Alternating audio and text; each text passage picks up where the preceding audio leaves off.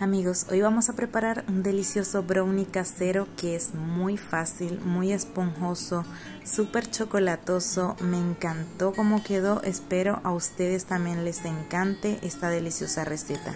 En un bol vamos a colocar tres huevos.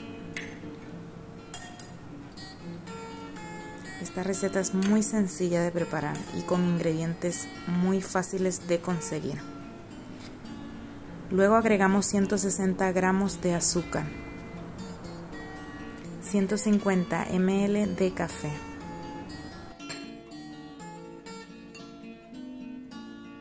agregamos 120 gramos de margarina derretida y batimos esto muy bien.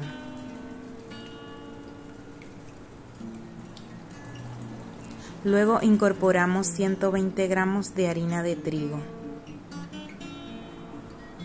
35 gramos de cacao.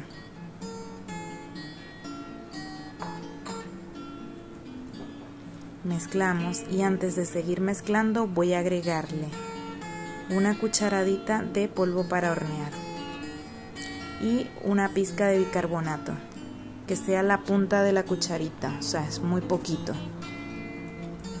Seguimos mezclando y cuando esté bien integrado estos ingredientes voy a agregarle 60 gramos de gotas de chocolate. Esto es opcional, si no lo tienes no pasa nada. Igual quedará delicioso y chocolatoso. Voy a agregar un chorrito de vainilla para darle más sabor a nuestro delicioso brownie.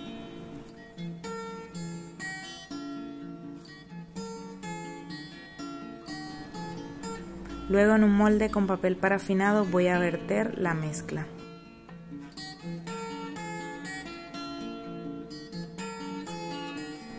Y llevaré esto al horno solo por 10 minutos a 180 grados.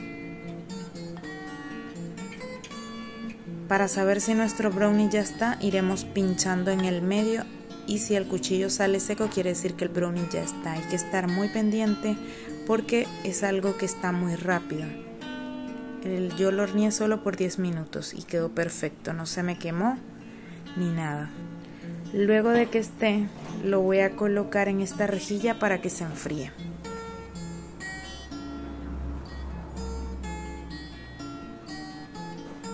La verdad no lo dejé enfriar mucho tiempo porque estaba ansiosa por probarlo ya que olía riquísimo.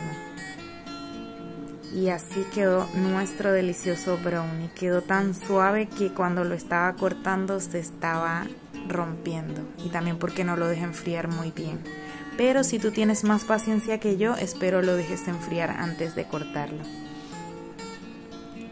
Miren qué delicioso quedó quedé encantada con esta receta. Espero a ustedes también les guste. Y si la preparan en casa, por favor déjenme saber en los comentarios qué tal les quedó la receta.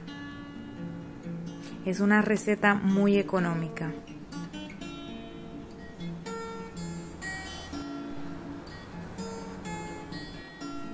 Bueno amigos, gracias por mirar esta receta y nos vemos en la próxima.